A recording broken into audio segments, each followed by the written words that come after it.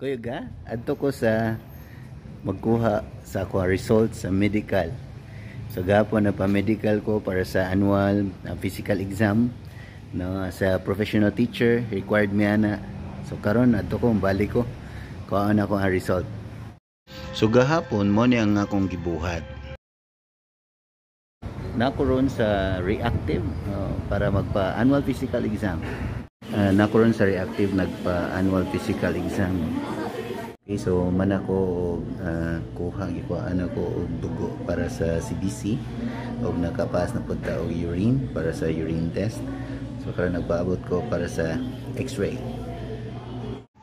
So balik ta sa karong adlaw. Okay, nataron sa releasing ug mo na ni ang resulta mo ni akong skeleton.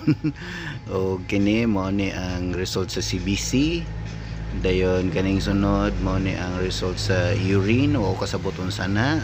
Ug mo ni ang explanation kuno sa kuang baga